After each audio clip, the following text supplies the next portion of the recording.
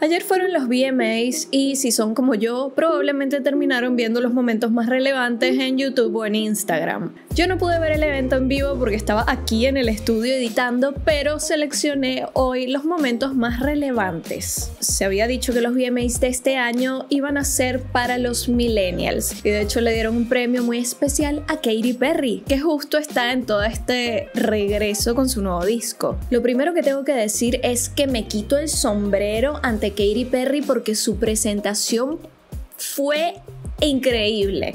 O sea, pudo salir muy mal y salió muy bien por el tema del arnés y todo el control que tienes que tener en el cuerpo para volar por ahí con un poco de gracia. Cantó todos sus hits y de verdad, o sea, la vi y sentí como, sí, me sentí orgullosa. Katie ha recibido muchas críticas por trabajar con Dr. Luke. Eh, ya saben por qué, por todo el tema de Kesha. Les hice un video sobre eso. Si no lo han visto, se los dejo por acá. Y la verdad, teníamos muchísimas expectativas de que por lo menos este disco fuese muy bueno. Y hemos estado algunos, no todos, un poco decepcionados con las canciones y los videos que ha sacado porque la queremos y la queremos ver brillar. Y realmente eso fue lo que hizo en esta presentación.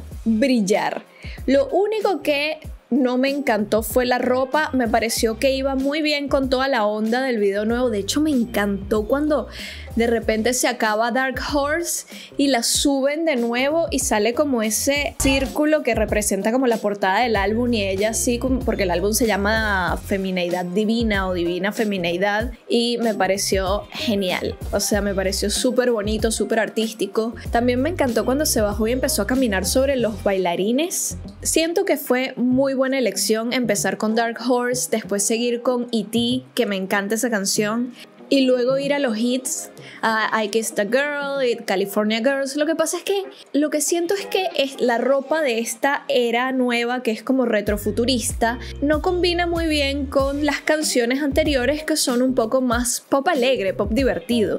Entonces, claro, ella vestida de beige con esta especie de corset duro que imita piel, que es como si estuviera medio desnuda, como todo este look post apocalíptico cantando California Girls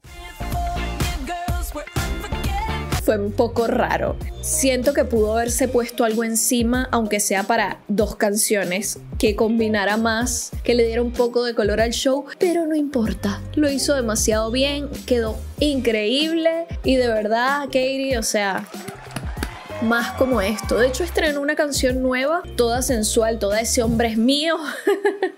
I'm his queen, I'm his freak, I'm every woman he wants and needs supongo que para Orlando Bloom. Luego le dieron su premio y me pareció súper lindo que lo presentara Orlando. De hecho, ellos dos en la alfombra roja se veían todos enamorados. Durante el performance de Katie lo enfocaron varias veces y él estaba al lado de Paris Hilton. Paris estaba así, sí, yes, queen. estaba living. Y él se veía como súper orgulloso de verla ahí en el escenario haciendo su show. Él le dio este premio, el premio La Vanguardia, que obviamente es un premio al reconocimiento de su carrera. Y cuando ella se subió a dar el speech, el discurso, la gente la empezó a buchear. ¿Se dieron cuenta de eso? There are so many things that have to align to have a long and successful career as an artist. Me encantó que no se dejara buchear, porque lo intentaron varias veces y ella tipo siguió hablando como si nada y habló con mucha seguridad de lo que iba a decir. There are no decade long accidents. O sea, una carrera de 10 años exitosa no es un accidente. También dijo que en su equipo hay muchísima gente, un poco haciendo un guiño a lo de Dr. Luke sin nombrarlo directamente. La gente la buchaba y ella seguía hablando como si nada y me pareció increíble porque qué momento más incómodo que es tu momento, ¿sabes? El momento de tu reconocimiento y la gente te esté abuchando. Con el tema de Dr. Luke, yo siento que probablemente Katy Perry no le crea que ya es válido también. Yo le creo a Kesha, pero yo no conozco a Dr. Luke. Es la elección de ella y obviamente tiene que lidiar con las decisiones que tomó como trabajar con este tipo y que la gente intentara buchearla. Pero al final salió todo bien, el discurso estuvo súper bien, le agradeció a Orlando, le agradeció a su hija, dijo que era el único ramo de flores que necesitaba, era el de Daisy, Daisy es su hija. ¿Qué opinaron ustedes? ¿Katy Perry merece este premio? Yo le hubiese dado el premio a la carrera, quizás no al de la vanguardia porque el disco nuevo no es tan vanguardista, pero, pero sí a su carrera porque siento que su carrera lo merece. Esta fue la noche de Katy Perry, pero hubo varios guiños a Britney Spears. que no estaba presente, por supuesto, pero fue mencionada y homenajeada muchas veces con pequeños gestos. Empecemos por la presentación de Sabrina Carpenter.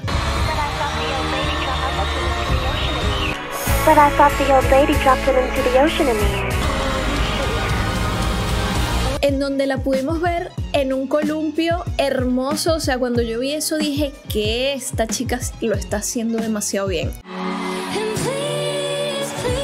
Para mí ella es la nueva popstar. Sentada en el columpio muy a lo Britney, cada vez que canta Every Time, bajó al escenario y todo el tema era como del espacio, como de Marte, de hecho habían aliens, el astronauta Claro, el astronauta es por los premios MTV, pero ella lo linkeó con el video de Oops de Britney, de Oops I Did It Again. Y de hecho sonó en una parte el monólogo de Britney. Y en un momento besó a un alien y es rarísimo porque, claro, hace alusión al videoclip de la canción que está cantando, que se llama Taste, en donde sale con Jenna Ortega y la besa. Pero me imagino que quería hacer también como alusión a Britney, Madonna, mm, el alien. Bueno, beso al alien.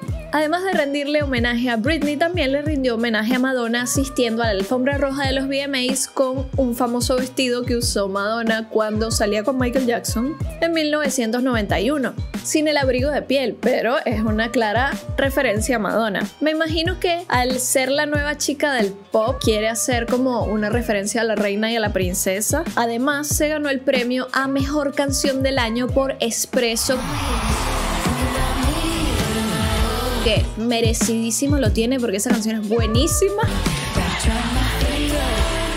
A mí lo que me da risa es que esa canción, la base, está hecha con una canción tipo de libre de copyright. Después podemos hacer un video sobre eso porque es interesante el tema, pero definitivamente es la canción del año, la canción del verano, la canción que no puedes dejar de escuchar. Y fue su primer VMA, así que genial por Sabrina. Ahora, Britney subió un video hablando de los VMAs en donde la verdad el video me da un poco de tristeza ay, no sé, como que primero esa voz, tiene la voz destruida o pone esa voz, es como una voz toda rasposa, así como si hubiese, fumado cinco cajas de cigarrillos. Siento que es una voz impuesta porque ella a veces habla normal, no sé, me confunde. Okay, so did you guys watch the um, VMAs? I didn't watch the VMAs, but I did see stuff on my uh, phone from YouTube of Sabrina Carpenter. Why is she kissing an alien? On stage. I adore her. I love her to death. I didn't understand that part. Um, why didn't she kiss a girl? Like that was weird. Um, but I also thought that, uh, like the whole thing was kind of like weird altogether. But after that, after watching that, I um, took a really long bath and I um, actually color. I'm into coloring right now. I like to color and I like to trace um, the pictures and then go back over it with like, um, yeah. I just know why I'm talking about that or why I'm talking. Oh, it's because this Sabrina girl, she, uh, she said my name on the red carpet and I thought that was kind of cool. Because I forget I'm famous sometimes.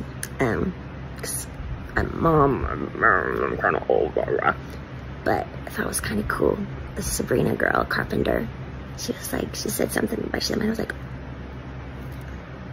thanks, that's cool. She made me cool. Uh, okay, maybe not. O sea, como que criticó a Sabrina Carpenter, pero después dijo que ella, Sabrina, había hablado de Britney en la alfombra roja y que eso le pareció cool, que eso la hacía cool otra vez siento que tiene la autoestima muy baja. Es como que, ay, Sabrina Carpenter sabe quién soy. Britney, todo el mundo sabe quién eres. O sea, tienes a un montón de gente vestida como tú en los VMAs, un montón de gente imitándote, un montón de gente homenajeándote todos los años y todavía dudas de que las chicas pop de ahora sepan quién eres. Eres la inspiración. Siento que Britney se tiene que acordar, tiene que recordar quién es. Siento que le dejaron el autoestima por el suelo. Me parece súper triste de ver ¿Qué opinan?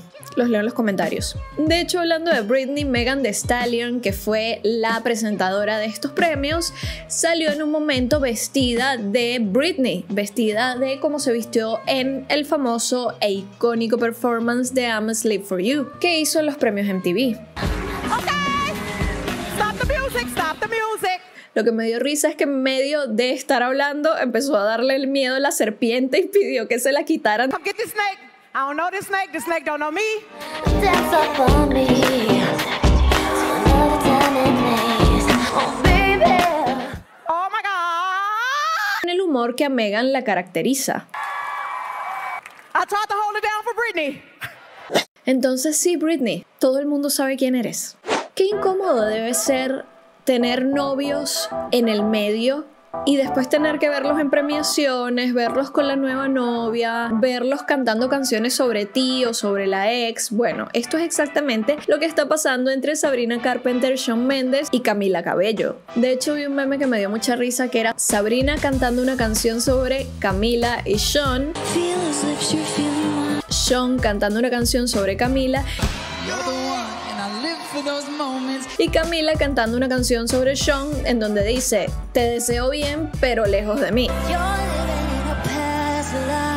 Claro, porque la canción de Sabrina Carpenter es como hablándole a la otra mujer que vas a sentir mis besos cuando él te esté besando, mi olor y todo eso. La de Sean es para Camila, supuestamente dijo que todo el álbum y todos los álbumes que ha escrito son para Camila, lo dijo en su fiesta de lanzamiento del álbum. Y hablando de Camila Cabello, su presentación no s- saben cuando ven algo y no sabes si te gusta o no. Me pareció interesante, pero siento que hacen presentaciones para la cámara y no para el público. Y esto es un evento en vivo. Tienes que hacerlo bueno para la gente que está ahí y para la gente que lo ve en la televisión, ¿no? O en YouTube. Toda la presentación estuvo metida como en un cuartito en el escenario. Obviamente la gente que estaba fuera del escenario aunque fuese transparente medio que no la veía. Al principio la enfocaban con el pelo rubio en una laptop que destruye.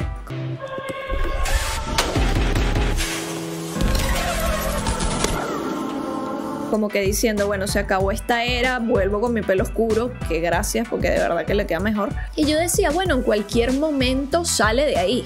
No, salió el final nada más. No sé, no me gustó eso. Igual la canción me gustó, la letra estaba buena.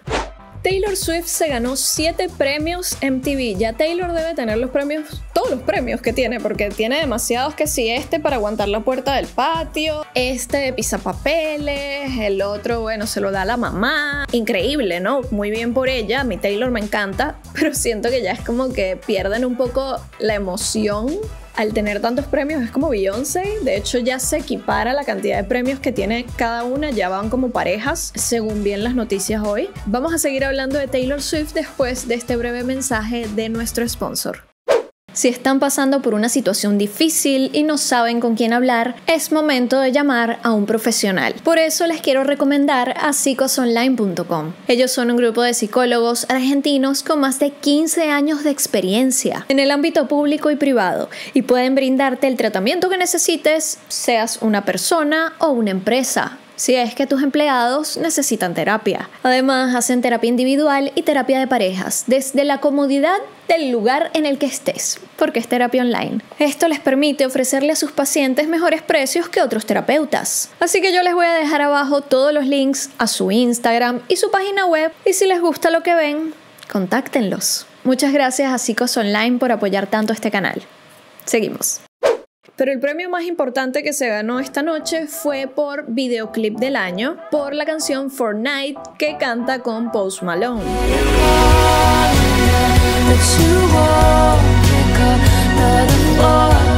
Lo importante de este premio es que ella dirigió este videoclip y el videoclip a mí me encanta, me parece una obra de arte. Por cierto, la gente que la critica porque hizo una canción que se llama Fortnite como si fuese el jueguito, eh, Fortnite significa quincena. o sea, es como solo te tuve por una quincena. Claro, debe ser igual un juego de palabras con el jueguito. Quizás a Alex le gustaba jugar Fortnite. No sé, díganme las Swifties en los comentarios. Igual le voy a preguntar a mi hermanita que es Swiftie. Lo lindo de Taylor es que subió a Post Malone al escenario para que agradeciera con ella, por supuesto, y le agradeció a todo su equipo, especialmente a su novio Travis Kelsey, el jugador de fútbol americano. Everything this man touches turns to happiness and fun and magic.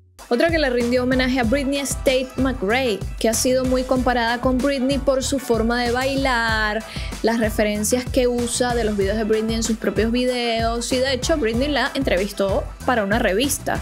run this year. There's been a lot of comparisons to Britney Spears as well. How does it feel to be compared to an icon like that?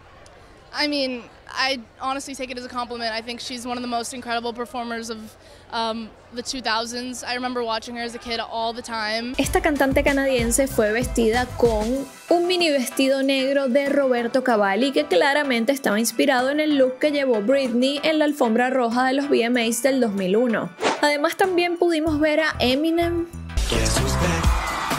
que volvió cantando dos canciones en una de ellas, la verdad que me emocionó porque es una canción de pedida de disculpas a su hija por ser tan mal padre, por haber estado ausente, por haber estado más pendiente de las drogas que de su familia. Y no solo le pide perdón a su hija, Hailey, sino que también le pide perdón a la otra hija, al sobrino, un montón de gente. Y para hacer una canción tan específica me pareció muy buena canción. De hecho, casi me sacó una lagrimita. Además que Eminem estamos acostumbrados a que él siempre sale con un montón de tipos iguales a él, o por lo menos lo ha hecho varias veces, pero esta vez fue referenciando a Slim Shady, de hecho había un chico vestido como Eminem en el escenario, muy parecido, se parecía más a Eminem que Eminem, la verdad. Y todos los tipos con peluca, de hecho me dio un poco de risa porque dije, Eminem tiene una peluca, no está acostumbrado a verlo con el pelito corto y sin barba, entonces tenía el pelo rubio platinado, un poco largo, con una barba negra es como cuando te platinas el pelo y te dejas las cejas oscuras, es raro. Pero ojalá que Eminem se haya arreglado con su familia y su hija lo haya perdonado. Después vi la presentación de Anita, que sinceramente ni la vi completa porque me aburrió. La primera canción más de hip hop en donde ella hacía los coros de estos dos hombres me pareció un aburrimiento. Y la segunda creo que fue con peso pluma.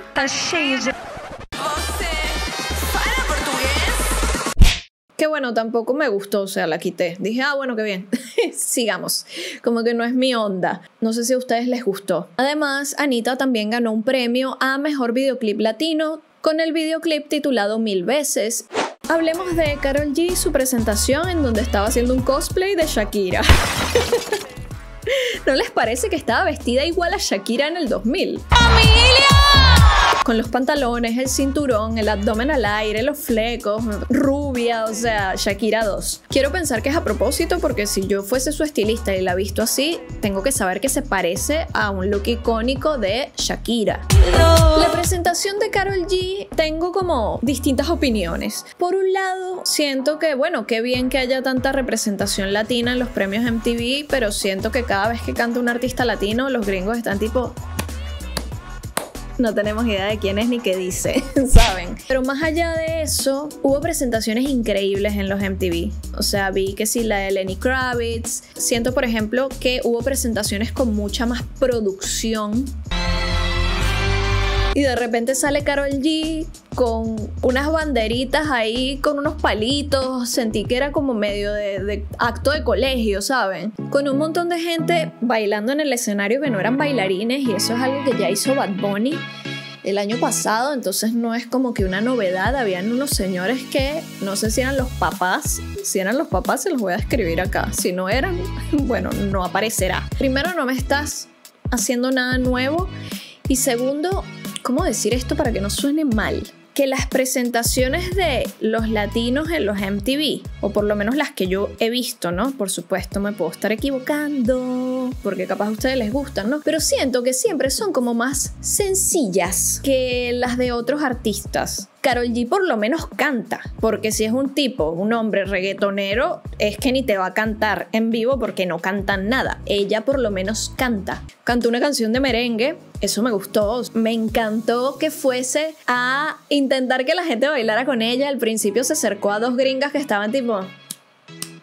Creo que no eran famosas y las tipas ni se inmutaron. Es que, a ver, hasta por educación puedes hacerle tipo... algo. Después se acercó a Taylor Swift, una reina. Taylor estaba preciosa. Yo creo que esta es la época en la que Taylor ha estado más bella de todas. Estaba vestida como con un corset de cuadros amarillo, como medio de época, toda sensual. Se ve que le va muy bien con Travis, que está como muy linda y muy sensual últimamente. Y se puso ahí a bailar con Karol G, aunque no supiese bailar merengue. Ella estaba ahí tratando como de imitar, moviendo la falda. Y eso es algo que me encanta de Taylor, que siempre es como que está siempre bailando y cantando las canciones de otros artistas y pasándola bien en el público. Y me imagino que a Carol le encantó porque estaban ahí todas muy sonrientes, como bailando juntas.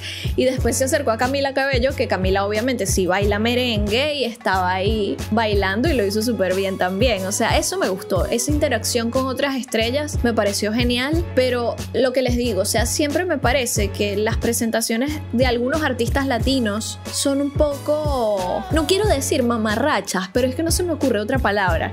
En el sentido de que los bailarines estaban vestidos fatal, todas con la panza afuera. Saben, como que sí, es una representación de lo que es el Caribe o de cómo la gente es en el Caribe y cómo se viste, pero no todos los caribeños somos así. Entonces es un poco como, ay, nos están dejando mal. ¿Saben? Es, es como como un cliché, ¿saben? Como que los gringos nos deben ver como, ay, esa gente tan colorida. Como que siempre hacen lo mismo, y ya vinieron los latinos otra vez aquí a bailar. Got in on the action. los viejitos en el escenario, ¿saben? Porque, a ver, si, si lo comparo con otras presentaciones, obviamente son artistas diferentes, pero siento que Carol pudo haberse esforzado un poco más en hacer una presentación estéticamente más bonita. Eso, estéticamente más bonita. Porque estaba bueno que la pantalla, el piso era una pantalla y fuese una playa. O sea, todo eso estaba bueno, pero siento que las banderitas de, con, con los palitos y la gente como vestida así, así nomás, como si fuesen a comprar para el, para el kiosco de la esquina, lo que le faltó fue bailar en chancletas a los bailarines. O sea, vamos a vestirnos un poco mejor que estamos haciendo un show. No sé, digo yo, mi humilde opinión. Porque después, claro, después veo la presentación de esta chica.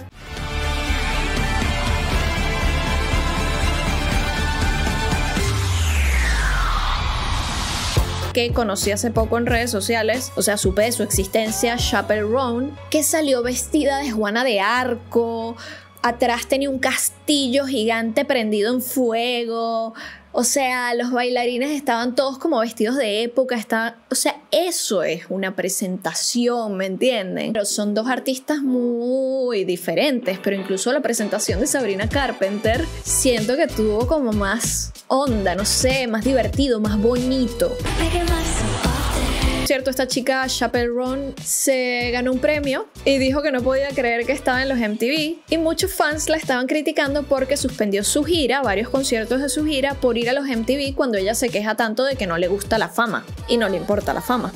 Así que bueno, creo que cualquier artista se podría emocionar yendo a los MTV. Los MTV eran premios súper icónicos.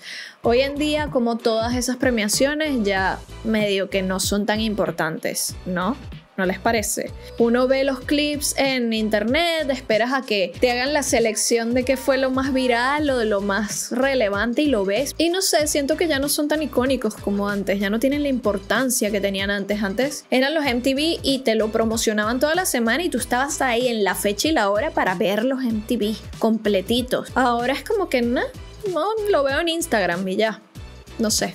Los tiempos han cambiado, muchachos. Pero bueno, cuéntenme, ¿ustedes vieron los MTV? ¿Qué les pareció? ¿Qué les parecieron las presentaciones? ¿Cuál fue su favorita? A mí, mi favorita, sinceramente, es la, la de Katy Perry y la de Sabrina, la de Sabrina Carpenter. Y bueno chicos, eso fue todo por el video de hoy, el especial de los MTV. Espero que les haya gustado. Si les gusta este canal, recuerden suscribirse. Fíjense si están suscritos, porfa, que a veces uno ve los canales y no se suscribe.